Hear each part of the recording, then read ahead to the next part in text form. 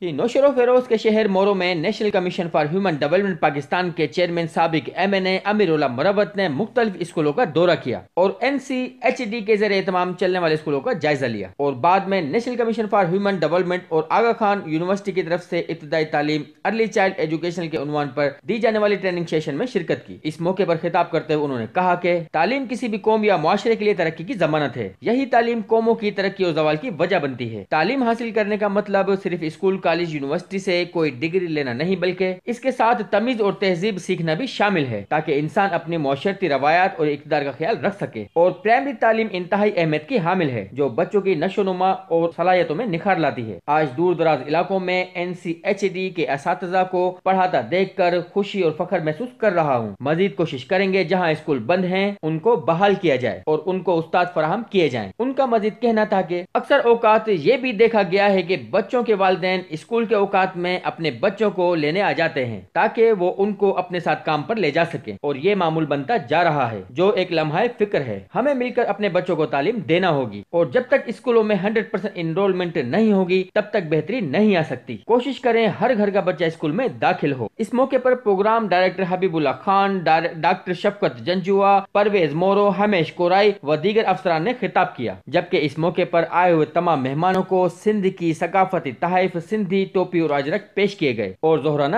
دیا گیا۔ ہم لاتے ہیں ٹاپ نیوز، آپ کے فیوریٹ ٹاک شوز اور ان لمیٹڈ انٹرٹینمنٹ صرف یوٹیوب پر۔ اگر آپ نے ابھی تک ہمارا چینل سبسکرائب نہیں کیا، تو ابھی سبسکرائب کریں اور بیل آئیکن کو کلک کر کے ہماری لیٹسٹ ویڈیوز کے بارے میں اپڈیٹ جانیں۔